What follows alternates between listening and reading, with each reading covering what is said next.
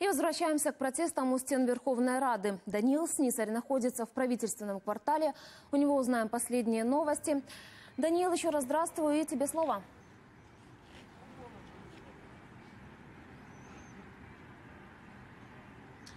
Ну, под Верховной Радой активисты установили более 60 палаток, большую часть из них в Мариинском парке напротив э, площади Конституции.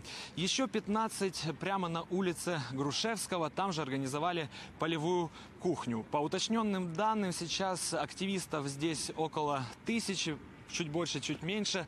Э, Также здесь дежурят, э, дежурят полицейские и нацгвардейцы. Их тут около двух тысяч человек. Они охраняют э, и здание Верховного Совета и, собственно, митингующих по периметру.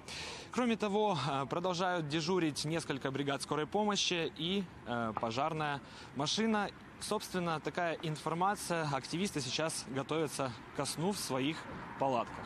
Студия. Даниил, спасибо тебе за последние новости. Даниил Снисарь был на связи со студией. Он в эти минуты находится возле парламента.